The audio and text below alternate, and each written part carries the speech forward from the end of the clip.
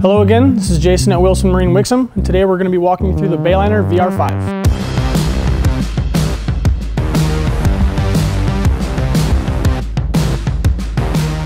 Upon entering the boat, we have soft mat here so you're not burning your feet. We have walkthrough with a drainable cooler. Nice layback bench for laying out in the sun. As we enter the boat, we have L-shaped seating area with multiple position passenger seat, captain's chair, standard with bolster, and tilt steering. Bayliner's beam forward design makes it so there's plenty of space in the bow. Plenty of room for storage everywhere in the boat, plus a nice size ski locker.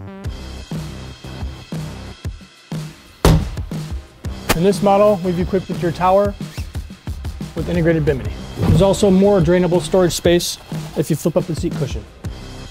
Come visit us at the dealership or visit us at wilsonboats.com.